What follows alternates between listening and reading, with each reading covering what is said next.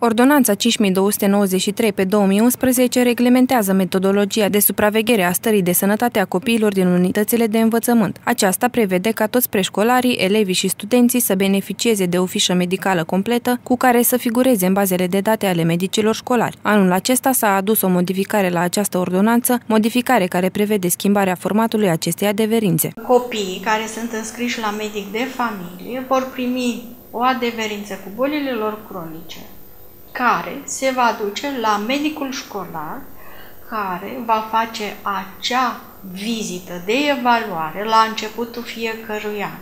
În metodologie spune așa, la începutul anului se face triaj epidemiologic la intrarea copiilor în colectivitate, uh, se face uh, o fișă medicală în care se pun vaccinări și tot uh, ce are copilul la acea fișă. Deci fiecare elev la școală trebuie să aibă în cabinetul de medicină școlară o fișă medicală.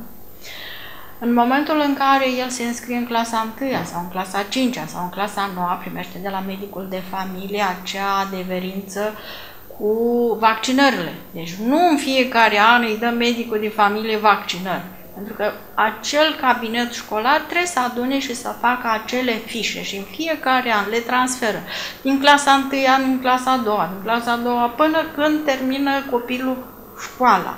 Medicii școlari vor avea mai mult de muncă datorită complexității și cantității datelor medicale care trebuie introduse în bazele de date. Județul Neamț are doar șapte medici școlari, aceștia fiind nevoiți să acopere toate unitățile de învățământ. Cum acest lucru este imposibil, Ministerul Sănătății propune medicilor de familie să preia din atribuțiile celor școlari. Medicul și cadrul medical împreună cu psihologul evaluează copilul la această evaluare participă doamna învățătoare, doamna dirigintă, doamna directoare, deci este o fișă mult mai complexă.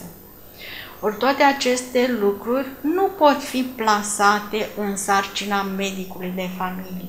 Medicul de familie are contract cu Casa de Sănătate de 7 ore pe zi, ori la cabinetul, unui, ă, cabinetul de medicină școlară din școală, activitatea este de 8 ore. Deci, nici cum n-ar putea un medic de familie să lucreze așa.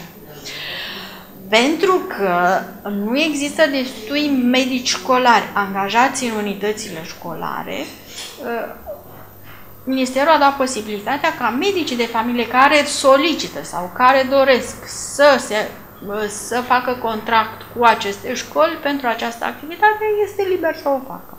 Deci, este la bunavoința a medicului sau a uh, unității de învățământ școlar.